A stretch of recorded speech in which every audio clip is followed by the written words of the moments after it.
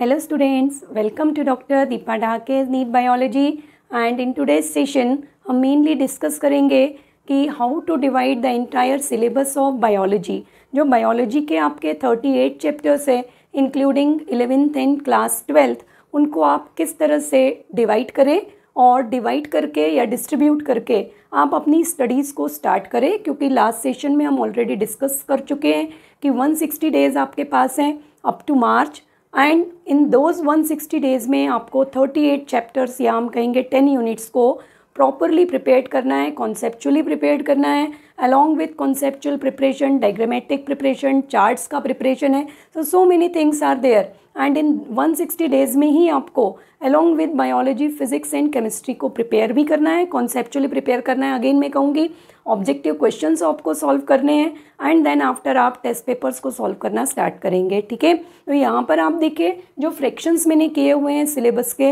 वो two parts में किए हैं कि फ़र्स्ट आपको क्या चैप्टर्स प्रिपेयर करने हैं या वॉट आर दोज चैप्टर जो आप सबसे पहले प्रिपेयर करेंगे? और जब आपके वो चैप्टर्स प्रिपेयर हो जाते हैं देन आप अपना सेकेंड लेवल स्टार्ट करिए प्रिपरेशन का। इसके थ्रू एक तो आपको बहुत ज़्यादा स्ट्रेस नहीं होगा, या बार बार आपको कन्फ्यूज़न नहीं होगा कि अगर हम इलेवेंथ प्रिपेयर कर रहे हैं तो ट्वेल्थ के टॉपिक्स मेरे स्किप हो रहे हैं, या जो स्टूडेंट्स ट्वेल्थ बोर्ड के साथ नीट की प्रिपरेशन कर रहे हैं, उनको भी ये स्ट्रेस नहीं होगा कि ओनली वो इलेवेंथ पे प्रिपरेशन कर रहे हैं बट ट्वेल्थ बोर्ड का प्रिपरेशन नहीं हो रहा है। तो यहाँ पे जो मैं आज डिस्ट्रीब्यूशन लाया है टॉपिक्स का। तो एज सच एक्चुअली टॉपिक्स मैंने नहीं यूज़ किया है यहाँ पे।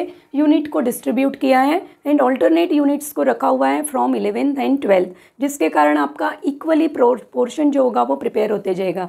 And one of the most important thing आप यहाँ पे याद रखिए, जब आप प्रिपरेशन करना स्टार्ट कर चुके हैं तो यहाँ पे आप देखिए लास्ट सेशंस में भी मैं बार बार कह रही हूँ इलेवेंथ के ट्वेंटी टू चैप्टर्स हैं और क्लास ट्वेल्थ के सिक्सटीन चैप्टर है। वेटेज अगर आप देखेंगे तो क्लास ट्वेल्थ का ज़्यादा है वैसे तो जो क्वेश्चंस हैं, वो जनरली नियर आ रहे हैं। फोर्टी फाइव फोर्टी फाइव या लिटिल बिट डिफरेंस हो सकता है टी फोर्टी टू और आपका फोर्टी फाइव के बीच में। तो यहाँ पे बट एज सच अगर आप देखते हैं तो फिफ्टी फिफ्टी परसेंट रेशियो ही है इलेवेंथ एंड ट्वेल्थ से। बट तो सिक्सटीन चैप्टर में से आपके फोर्टी टू और फोर्टी फाइव क्वेश्चन आ रहे हैं। वहीं आप देखेंगे अगर क्लास इलेवेंथ के ट्वेंटी टू चैप्टर्स हैं एंड फ्रॉम दो twenty two chapters forty five question और फोर्टी एट क्वेश्चन आते हैं। तो वेटेज आप देखिए, ज़्यादा किसका है आपके पास क्लास ट्वेल्थ के लिए वेटेज ज़्यादा है। तो नॉर्मली आपका ट्वेल्थ प्रिपेयर्ड भी होता है क्योंकि एज अ बोर्ड आप प्रिपेयर करते हैं। तो यहाँ पर जब आप प्रिपरेशन करना स्टार्ट करेंगे तो इस प्लान के अकॉर्डिंग कोशिश करिए स्टार्ट करने की। अब हम अपने टॉपिक के तरफ़ आते हैं। यहाँ पे क्लियरली आप अपेयर कर रहे हैं। टू फ्रैक्शंस मैंने कर दिए हैं level one and level two level one में आपको प्रिपरेशन करना है। टोटल सिक्स यूनिट यहाँ पे चैप्टर वाइज और टॉपिक वाइज डिस्ट्रीब्यूशन नहीं है। This is the distribution according to the unit wise and secondly weightage के अकॉर्डिंग भी है। जिन चैप्टर्स का वेटेज ज़्यादा है, उनको आप पहले प्रिपेयर करिए। जिनमें कॉन्सेप्ट आपको रिक्वायर्ड है, उन चैप्टर्स को पहले प्रिपेयर करिए। लास्ट ईयर्स के पेपर्स अगर आपने देखे हैं, जो बच्चे ड्रॉपर्स के, उनके लिए कह रही हूँ। जो स्टूडेंट्स फ़र्स्ट टाइम ट्वेल्थ के साथ प्रिपेयर करेंगे, उनको भी ये क्लियर है कि क्लास इलेवेंथ से सेल बायोलॉजी का जो यूनिट है इलेवेंथ में थर्ड यूनिट है आपका ये। That unit is, most important इस यूनिट में आपके थ्री चैप्टर्स हैं।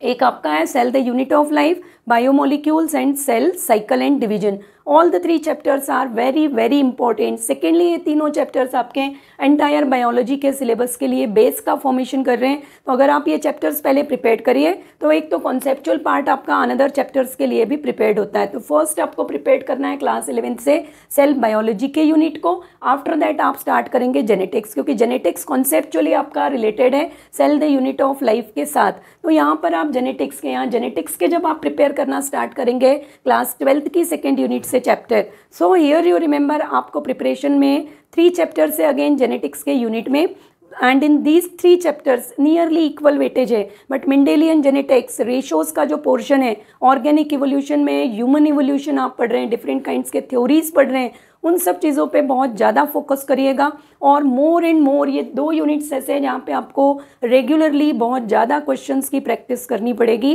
because somewhat difficulty level questions as well as conceptual questions यहाँ पे देखिए मेमोरी बेस्ड क्वेश्चन नहीं आ रहे इन यूनिट में। यहाँ पे कॉन्सेप्चुअल क्वेश्चन आ रहा है प्लस क्वेश्चन जो है वो आपका प्रैक्टिस बेस्ड क्वेश्चन है तो उनको थोड़ा आप सॉल्व करिएगा। आफ्टर दैट अगेन इलेवेंथ से प्लांट फिजियोलॉजी को प्रिपेयर करिए। वैसे तो प्लांट फिजियोलॉजी एक थोड़ा लार्ज यूनिट है। फाइव चैप्टर्स हैं आपके टाइम कंज्यूमिंग यूनिट है बट आप इसको पहले ही प्रिपेयर करके रखिए बिकॉज़ इंपॉर्टेंट यूनिट है आपका from the class eleventh after that आप देखिए जो लेवल वन में आप प्रिपरेशन स्टार्ट करेंगे तो क्लास ट्वेल्थ से रिप्रोडक्शन रिप्रोडक्शन में देखिए unit reproduction four chapters are there तो फ़र्स्ट चैप्टर आप लिटिल बिट स्किप कर सकते हैं अभी बट आप जो थ्री चैप्टर्स हैं रिप्रोडक्शन के यूनिट में chapter second chapter third and chapter fourth these three chapters are very very important then after आपको अगेन क्लास ट्वेल्थ से ही एक चैप्टर प्रिपेयर करना है दैट चैप्टर यूनिट है that is the human health and disease that you hear I provided the name of that chapter but that unit entirely prepare but in that unit you remember this chapter is very important and this is again as such conceptually wise conceptually ये chapter prepare नहीं करना है ये memory based question यहाँ पे आते हैं तो regular revision इस chapter में आपको required है and then after 11th से आपको human physiology जब आप human physiology prepare करेंगे तो in human physiology सर्कुलेशन का चैप्टर है ब्रीदिंग का chapter breathing and gaseous exchange का चैप्टर है देन एक्सक्रीटरी सिस्टम अगर आप पढ़ रहे हैं तो काउंटर करेंट मैकेनिज्म है, वहाँ पे डिसाइडेड हैं कुछ पार्ट्स जो मोस्ट इंपॉर्टेंट पार्ट है that we will separately discuss कि यूनिट वाइज आपको क्या क्या प्रिपेयर करने हैं, ठीक है? तो ह्यूमन फिजियोलॉजी आप प्रिपेयर करना स्टार्ट करिए। सेकेंडली इस प्रिपरेशन के लिए आप अपने टाइम शेड्यूल को इस तरह से डिसाइड करिए कि वॉट एवर ये जो आपके सिक्स यूनिट है, क्योंकि मार्च तक का टाइम आपके पास है एंड अप टू मार्च आपको पूरा का पूरे बहुत लेवल्स को प्रिपेयर करना है so maximum try to complete the this level one preparation by the end of the December और मैक्सिमम आप फिफ्टींथ जनवरी तक लेकर जाइए उसको। ठीक है? क्योंकि जो ट्वेल्थ के स्टूडेंट हैं, उनके फिर उसके बाद अगर टाइम शेड्यूल रेगुलर चलता है तो प्रैक्टिकल्स आपके स्टार्ट होंगे। मार्च से आपके थ्योरी के एग्ज़ाम स्टार्ट होंगे तो आपको वो भी एक टेंशन होगा along with the preparation of NEET to by end of दिसंबर और मैक्सिमम जो स्टूडेंट्स हैं, वो 15 जनवरी तक इस लेवल वन को कंप्लीट करिए। आफ्टर दैट हम आते हैं लेवल टू की तरफ़। लेवल टू जब आप पढ़ना स्टार्ट करेंगे तो biotechnology two chapters are there and one of the most important chapter from the class twelfth syllabus conceptually in chapters को आपको एक बार बहुत अच्छे से समझने की ज़रूरत है। Once you are conceptually clear तो आपको यहाँ पे मेमोरी बेस्ड भी नहीं है क्वेश्चन मेमोरी बेस्ड है बट आपको मगअप नहीं करना है बायोटेक्नोलॉजी में। आपको समझने वाला पोर्शन है PCR DNA fingerprinting BT toxin की activity number of topics are there R N A I one of the most important topic है। ये सभी आप समझिए उसको और एक बार अगर आपने कॉन्सेप्चुअली क्लियर है आप उन टॉपिक्स के लिए तो आपको टू और three times N C R T का रिविजन रिक्वायर्ड है। सेकेंडली ये जो चैप्टर्स हैं बायोटेक्नोलॉजी से दे एज इट इज़ आपका एन e से आते हैं। So again there is no need to go out of NCERT for this biotechnology then अब हम आते हैं one of the most important and quite boring unit है बच्चों के लिए. That is from class eleventh first living diversity again living diversity में four chapters हैं एंड फोर चैप्टर्स में से फ़र्स्ट चैप्टर है.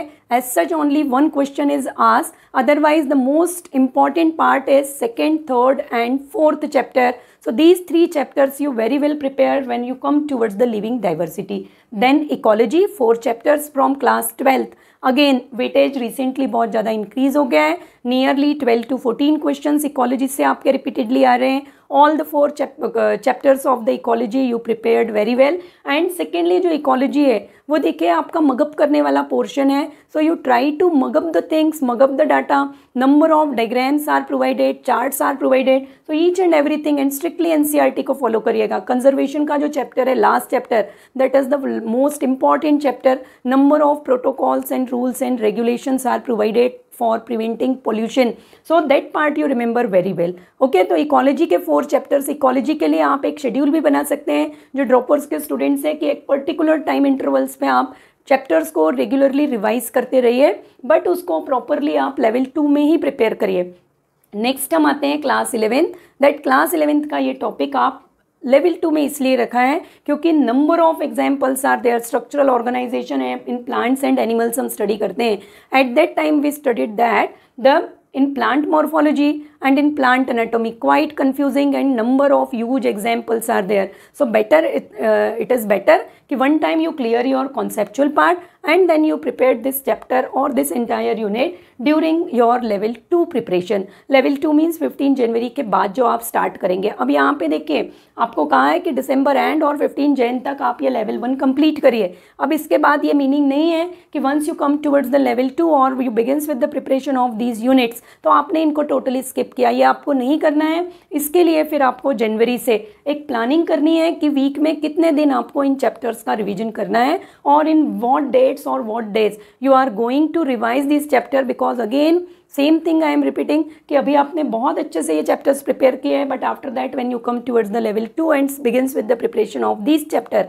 तब आपने अगर इन टॉपिक्स को रिवाइज नहीं किया है तो at the end of March और एग्जामिनेशन के समय आपको ये लगेगा कि पढ़ा तो मैंने सब कुछ है, पर आपको something haziness haziness means blur हो जाता है सब्जेक्ट कि कहीं से कुछ याद आ रहा है, कुछ पोर्शन आप मिक्सअप हो रहा है टू और थ्री टॉपिक्स आपके मिक्सअप होंगे और कुछ पार्ट आपको ऐसे लगेगा कि बिल्कुल भी याद नहीं आ रहा है। तो why these things are happened because regular revision is not take place तो रिविजन को कैसे करना है, वो हम उसी समय डिस्कस करेंगे जब आप ये इतना प्रिपरेशन कंप्लीट करते हैं ओके तो इसको आप थोड़ा एनालाइज करिए। यहाँ पे अगेन मैं कहूँगी कि अगर आपको किसी टॉपिक में डिफिकल्टी मान लीजिए आपको ह्यूमन फिजियोलॉजी डिफ़िकल्ट लग रहा है तो ये प्लांट फिजियोलॉजी के बजाय आप पहले ह्यूमन फिजियोलॉजी ले लीजिए and then you come towards the plant physiology but one unit from eleventh and one unit from twelfth equal weightage लेके चलिएगा। ऐसा ना हो कि आप पूरा का पूरा समय इलेवेंथ को रिवाइज करने में लगा दें और क्लास ट्वेल्थ के लिए फिर आपको हार्डली वन और टू मंथ्स ही रहेंगे या few days in your end because twelfth के जो सिक्सटीन चैप्टर है, फिर रिपीट कर रही हूँ ट्वेल्थ के सिक्सटीन चैप्टर से फोर्टी से फोर्टी फाइव क्वेश्चन आ रहे हैं और इलेवेंथ के ट्वेंटी टू चैप्टर से forty two forty five question आते हैं इन बायोलॉजी तो pay equal attention on the syllabus of eleventh and twelfth इतना ही आज मुझे कहना था। नेक्स्ट सेशन में नेक्स्ट टॉपिक्स के साथ और नेक्स्ट डिफिकल्टीज जो भी स्टूडेंट्स मुझे बताएँगे कि उनको किस तरह से डिफिकल्टीज आ रही हैं। अभी कुछ स्टूडेंट्स ने मुझे कहा है कि जब वो यूनिट वाइज डिसाइड करते हैं सपोज़ ह्यूमन फिजियोलॉजी पढ़ना स्टार्ट करते हैं तो उनको कन्फ्यूज़न होने लगता है कि किस चैप्टर को पहले स्टार्ट करें या फिर किस चैप्टर में किस टॉपिक को वेटेज ज़्यादा है तो वो पार्ट भी हम लोग डिस्कस करेंगे यूनिट वाइज डिस्कस करना स्टार्ट करेंगे one by one okay so up to next session stay motivated stay blessed and work hard